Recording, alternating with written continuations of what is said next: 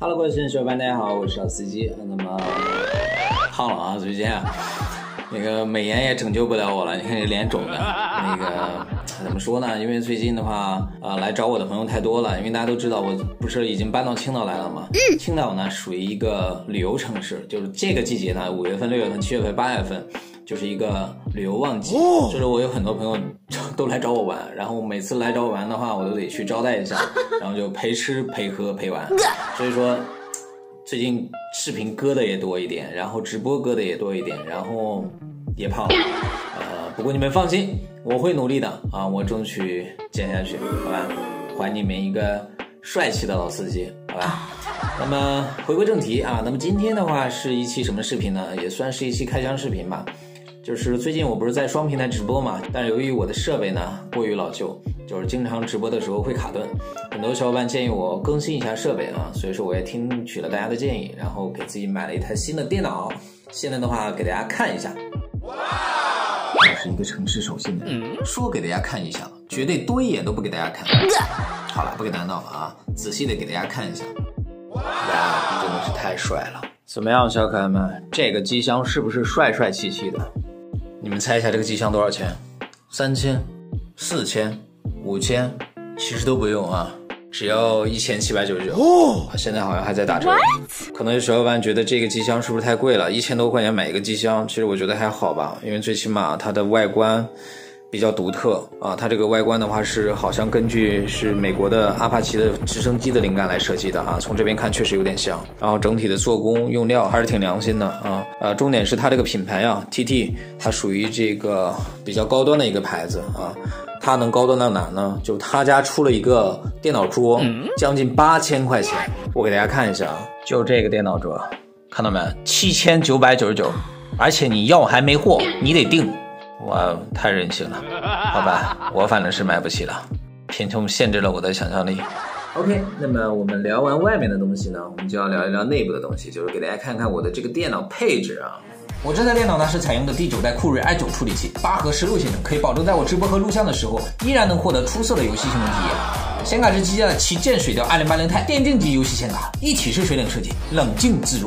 主板是机架 Z 三九零电竞大师主板。本来呢是想买败家之眼的主板的，但是没货，所以说只能选择这一款。海盗船六十四 G 的内存，游戏多开，毫无压力。一 TB 的 SSD 固态硬盘加四 TB 的机械硬盘，在保证系统高速运转的同时，又能拥有超大量的储存。当然，如此高的电脑配置，肯定要有一个强劲的电源。所以我选择 TT 的八百五十瓦电源，日系电容，十年质保，彩色灯条，炫酷耀眼。我这配置扫个雷，斗个地主，没问题吧？好了，不跟他闹了。那么我们回归正题啊，其实这么高的配置的话，其实首先要解决的就是散热的问题。那么我之前是想给这台机器装一个分体式的水冷设备，那么我在网上也看了很久，也查了很多资料，后来发现我玩不了，我不敢买那个东西，我怕到时候回来弄了我装不上。所以说，我就保险起见买的是现在这种比较简便的，就是一体式的水冷。呃，给大家看一下，来给你们打开我的宝贝机箱，看啊，上面是有三个风扇的，看这个管道一直连接到 CPU，这里面。都是有冷却液的啊，这种的话就是一体式水冷，就说你买回来装上就能用啊，不会像那种分体式水冷，你还要自己装管，还要自己折弯，还要装冷却液啊，就比较麻烦。哎呦，不好意思啊，手机抖了一下。那么，呃，就是这个 logo 的话反了啊，因为我如果不这样做的话，这个线要从这里走啊，那么我感觉。呃，就不太好看了，所以说我是想，就是直视这个电脑的机箱的时候，是尽可能的少看到线啊。你们的注意力是不是都在这个上面啊？我挡住啊。这个一体式的水冷设备呢，也是 TT 的啊，跟那个机箱是一个品牌的啊。那么这两个手办，大家估计也盯了很久了。其实这两个就是我买来就是故意放进去，然后就是纯粹是为了好看啊。那么我们聊完 CPU 的水冷散热呢，我们再看一下这个显卡的水冷散热啊。那么我买的这个显卡的话，相对来说就是比较好一点的，它是自带这个水冷设备的啊。这两个管道一直延伸这两个风扇，那么所以说就是整体来说这个。机箱里面两个主要散热的都有这个水冷制冷啊，那么再外加这个电源呢，它自带的一个风扇，然后还有这个机箱自带的三个风扇啊，所以说整体来说里面其实很凉爽的，不用担心发热的情况啊。所以说整体这台设备的话，再用个三五年应该是没什么问题的，因为我现在正在用的那台设备呢，也是用了三年了才更换的，所以说这台设备的话，我觉得以这样一个配置，五年应该没问题啊。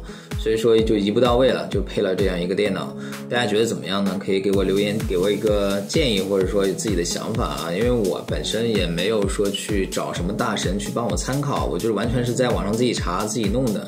因为装电脑的话，说实话比较简单啊，最麻烦的是走线，就是说你包括我现在走的这些线，其实都是很烂的。你看这些线啊，其实走的都不是特别漂亮啊，但是没办法，我真的也是尽力了啊。